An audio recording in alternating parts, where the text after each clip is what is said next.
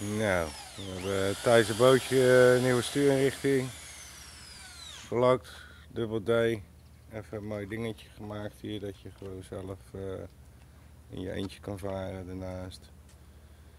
Nou, we hebben de dingetjes gemonteerd vandaag, vloerbedekking gelegd. De bakjes even teruggelegd, dus de vloer, eh, dit is nog een stukje daar, eh, dat is voor de paal, voor eh, de waterskipaal.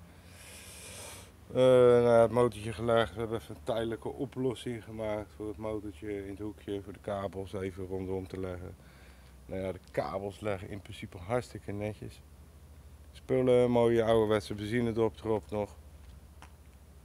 En eh, ik zal even naar de andere kant lopen.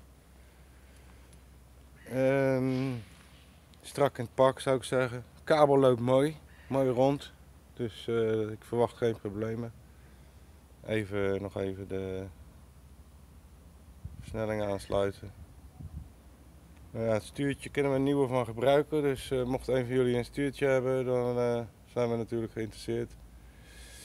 Eh, dadelijk gaan de stoeltjes erin. De stoeltjes staan hier. Daar zijn we nog even mee bezig. En dat zal wel in filmpje nummer 2 komen. En filmpje nummer 3 zal wel zijn dat wij eh, richting Rotterdam komen.